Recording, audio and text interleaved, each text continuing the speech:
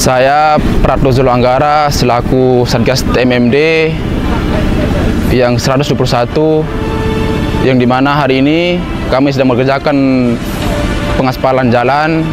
Kami sangat bersyukur atas antusias warga di sini sangat membantu kami entah itu ibu-ibu, bapak-bapak sangat membantu kami di sini yang di mana jalan ini sebelumnya sangat rusak parah dan sekarang alhamdulillahnya pelan-pelan bisa baik batu bagus seperti ini untuk sampai dengan hari ini alhamdulillah prosesnya lancar lancar aman. Tidak ada kendala sama sekali.